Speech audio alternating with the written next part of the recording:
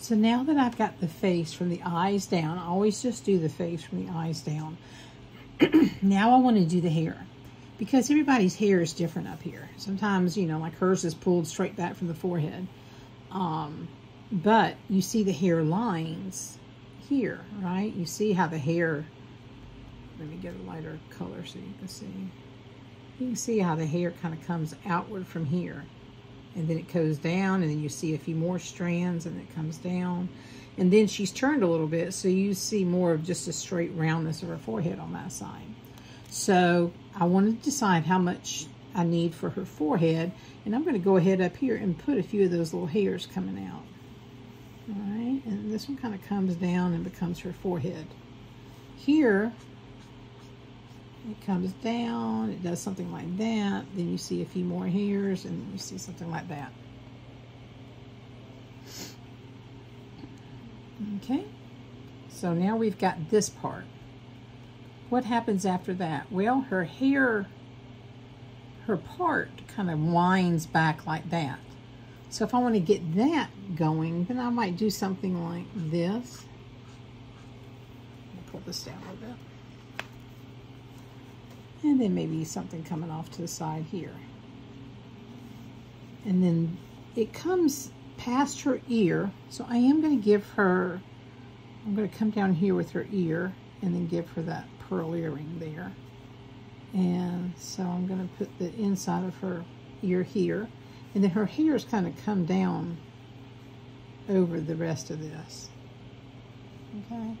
So, what does it do up here? Well, it kind of goes up and it comes down and it keeps getting a little wider until it kind of comes in here.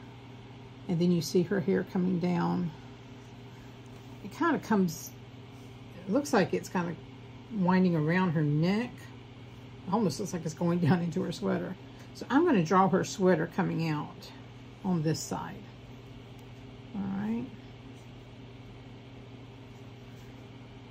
And then I'll just, her hair's darker. So I'm going to draw some strands. If it was really curly, I would draw them, you know, more curly. It's just got a little wave to it, but it's not super curly. Okay, that gives me the idea of, okay, it's, it's flowing in this direction. Over here, you can see that she has different, she has little, some shorter layered pieces here, and then it gets longer here.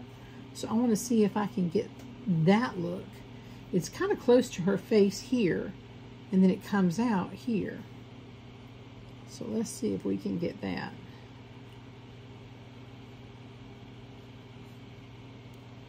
All right, and it comes out from under here and it gets a little wave. And it actually goes down below here. There we go. And that gets the look of that wave. So now I can go in and I can put in just a few lines. I don't like to make them the same length. I don't want them to look like stripes. But I want to show the direction the hair is going. And I'll usually put a few more lines coming from underneath because it's always going to look a little darker underneath. The places that it goes in and out, I will put some curved lines just showing that It's got some, you know, a little bit of wave to it, okay? There we go. Got a little bit more here showing coming out there. That's a pretty good caricature for her. I might make the um the glasses go back here behind. And I think I'm going to make the top line a little thicker so they show up as glasses. and maybe make this side a little thicker and along the bottom. And bring this out along the bottom. There we go. keep that whole shaded thing going on this side. Okay. Now, the only thing I might want to go back in and do is she has just these little lines out here. And I would probably give her those.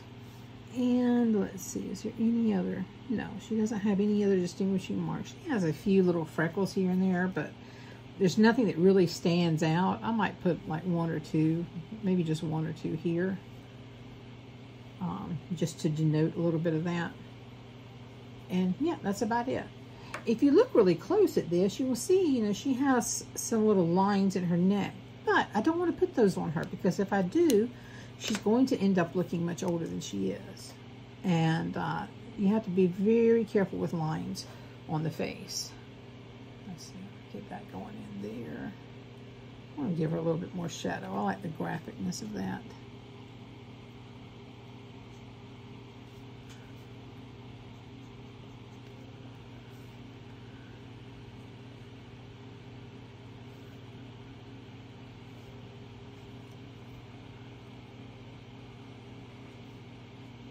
There we go.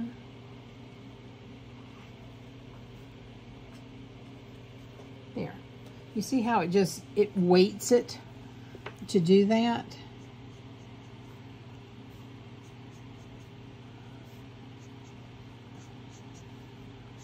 So having different weighted lines, I'm going to make it